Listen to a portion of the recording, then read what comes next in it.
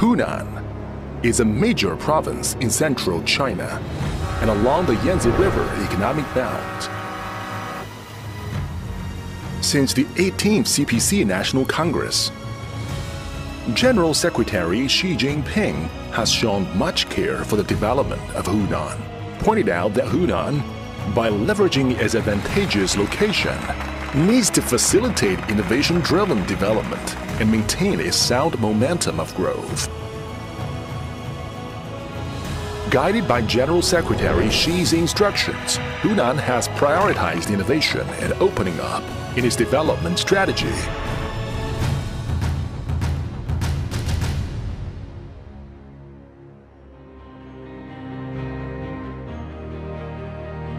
Hunan covers an area of 211,800 square kilometers with a population of 73 million. Hunan is home to many famous names in modern China. They have changed the history of the nation and influenced the world. In 1949, Mao Zedong, a native of Hunan, declared the founding of New China.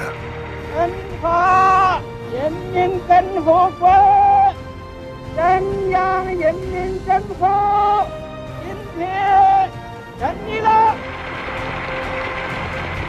Over the past 70 years, the Communist Party of China has stayed true to its founding mission and led the Chinese people to achieve historic accomplishments. Hunan has upgraded from an agricultural province to an economic powerhouse with prosperous agriculture, industry, and services sectors. In 2018, Hunan's GDP reached 3.64 trillion yuan, ranking the eighth nationwide. It has three industries, each with over 1 trillion yuan output, and 11 industries each crossing the 100 billion yuan output threshold. The wealth created every six hours in Hunan today is equivalent to the GDP of the whole year in 1949. Hunan has stepped up its efforts in promoting innovation. The world's first exascale supercomputer Tianhe, the first deep sea floor drilling rig Hainiu, and China's first medium low-speed maglev train were all produced in Hunan. For every high-speed train, about half of the core components are produced in Hunan. For every 10 small and medium-sized aero engines, 9 are from Hunan. One third of Chinese mobile internet talents are from Hunan. For every 10 concrete machines produced globally, 8 are from Hunan. Changsha is known as the capital of international construction equipment.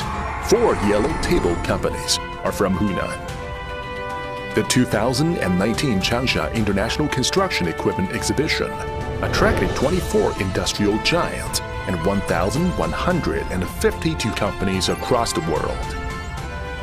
I think you have uh, very strong companies, Hunan province and Changsha, very well known.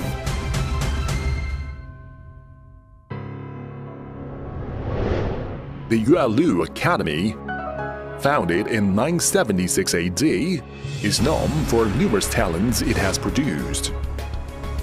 Central South University, Hunan University, and Hunan Normal University, as well as other 20 colleges, universities, and research institutes with a total of 30 academicians and 100,000 research fellows, are based in the university town at the foot of Yuelu Mountain.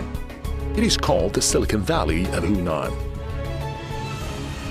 China National Hybrid Rice R&D Center, led by academician Yuan Long Ping, the father of hybrid rice, has trained technicians from over 80 countries.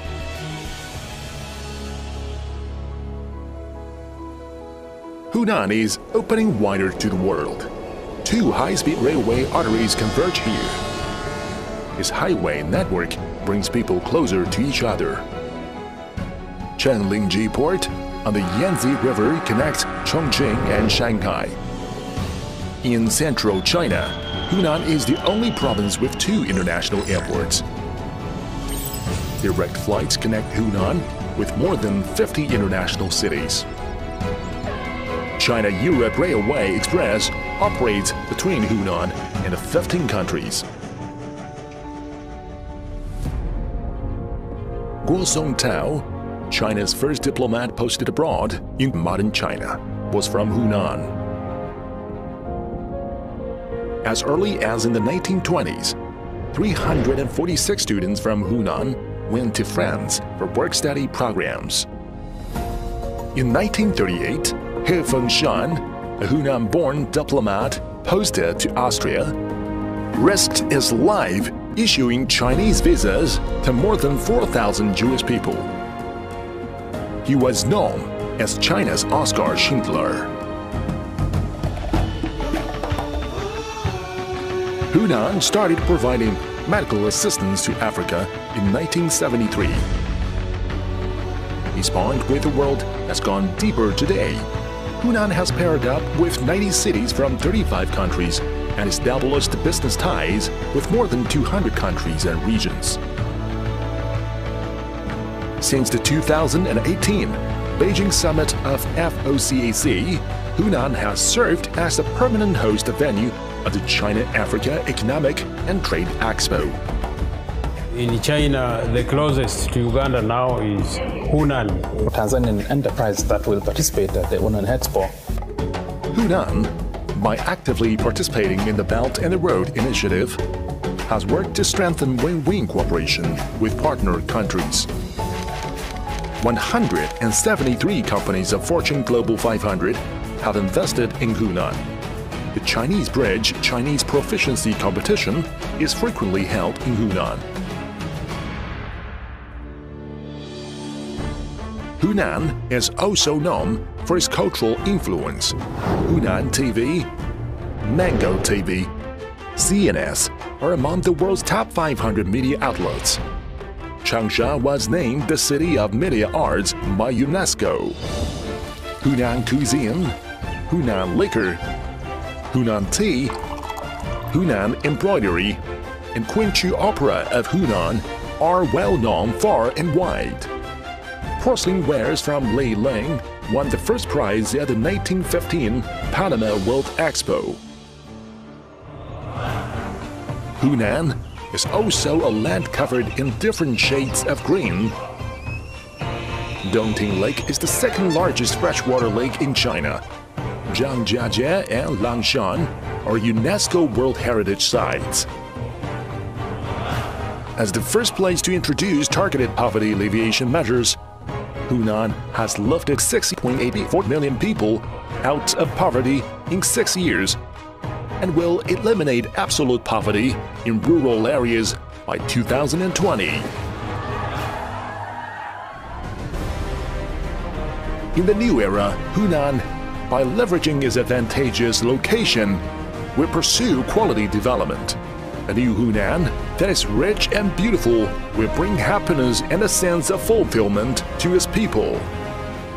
Hunan in the new era extends the warmest invitation to you